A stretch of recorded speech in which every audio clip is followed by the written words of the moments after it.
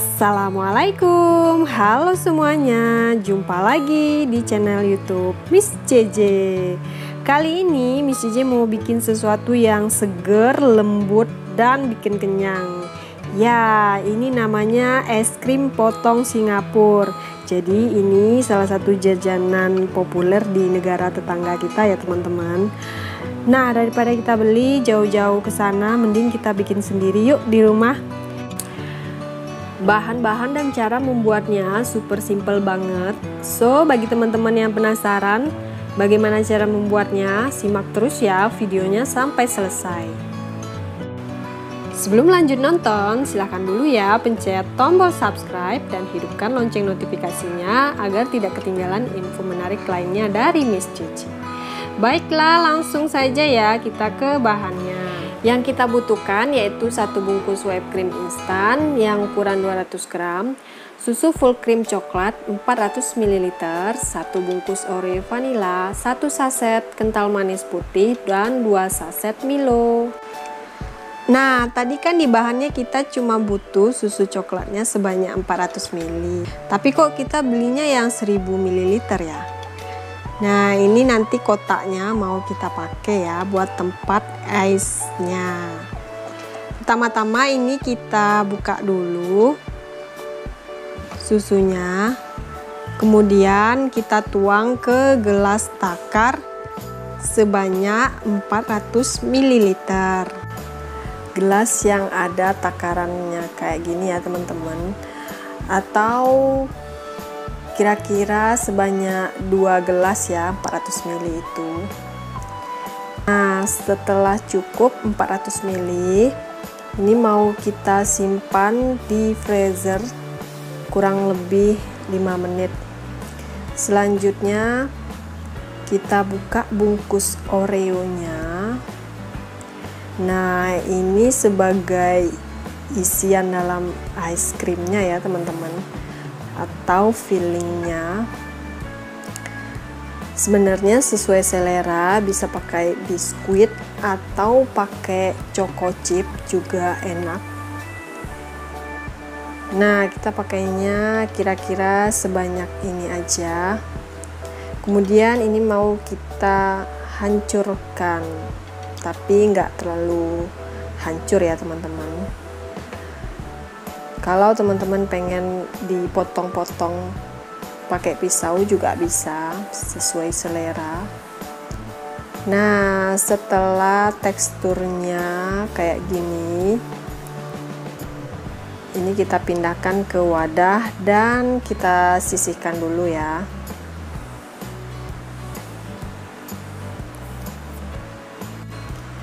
Selanjutnya wipe cream bubuknya mau kita unboxing. Mau kita buka dulu.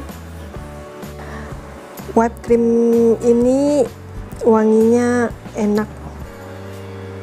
Nggak cuma untuk es krim, ini juga bisa jadi bahan olesan kue.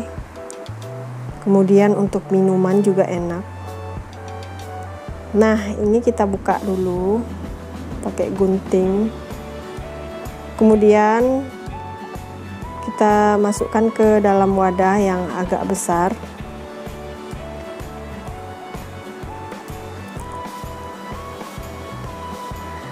Lalu tambahkan 2 saset Milo bubuk. Nah ini nyoklat banget ya. Enak manis lembut. Lalu tambahkan satu saset susu kental manis. Kalau teman-teman pengen lebih manis lagi boleh ditambahin. Tapi buat saya ini cukup banget ya sudah manisnya pas. Lalu tuangkan susu cair yang udah kita dinginkan tadi teman-teman. Semua bahan kita mixer dengan kecepatan yang tinggi tapi sebaiknya mulai dengan kecepatan yang rendah dulu ya teman-teman. Biar enggak muncrat ke mana-mana. Nah ini kita mixer 5-7 menit hingga mengembang kayak gini. Kemudian masukkan uh, oreo yang udah kita potong-potong tadi. Aduk rata semuanya. Nah enak banget ini teman-teman. Setelah ini dicampurkan merata kita sisihkan dulu ya. Kita ambil bekas kotak susu cair tadi kemudian kita potong dengan cara gini usahakan menggunakan pisau yang tajam ya teman-teman. Nah kita potong seperti ini. Jika ada bekas susunya boleh kita sisihkan dulu. Dan kotaknya kita rapikan seperti ini. Setelah itu baru kita masukkan calon es krim tadi nih teman-teman. Nah masukkan aja perlahan-lahan sambil dihentakkan sekali-sekali.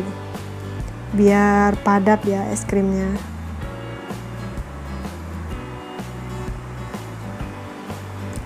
Nah nanti hasilnya lebih ya satu kotak ini. Sisanya bisa kita taruh di wadah lain aja dan semuanya kita pakai space nya bagian tutupnya juga kita kasih ya. Kemudian rapikan menggunakan sendok. Setelah itu ini kita tutup perlahan-lahan dan kita bersihkan sisa es krimnya lalu direkatkan dengan menggunakan selotip. Biar nggak lepas dia ya teman-teman Nah, setelah itu kita simpan di freezer selama 6 sampai 7 jam atau semalaman ya. Kita biarkan dulu dia beku. A few moments later. Jeng jereng, sudah jadi es krimnya siap-siap untuk kita potong. Nah, ini siap kita potong-potong ya teman-teman. Jadi ini seger banget. Kalau dimakan siang hari lagi bengong terus lagi lapar enak banget. Lembut banget es krimnya dan nanti ini mau kita campur dengan roti tawar. Nah kita ambil rotinya dulu ya teman-teman. Jadi ini benar-benar perpaduan yang sangat pas ya teman-teman. Dan ini Miss Gigi jamin anak-anak bakalan doyan banget. Nggak akan berhenti makannya nih teman-teman. Hasilnya itu jadi banyak ya. Jadi sekitar 10 potong bisa Nah, ini kita cobain dulu. Bismillahirrahmanirrahim. Hmm, hasilnya tuh lembut, empuk, ditambah dengan rotinya tuh cocok banget pokoknya rasanya teman-teman. Dan ini bisa jadi hidangan buat tamu ya kalau ke rumah. Dijamin tamunya bakalan datang terus ini teman-teman. So, sampai di sini dulu ya video kita kali ini. Semoga berhasil mencoba di rumah. Jangan lupa like, comment, share, dan subscribe ya. See you on my next video. Thank you.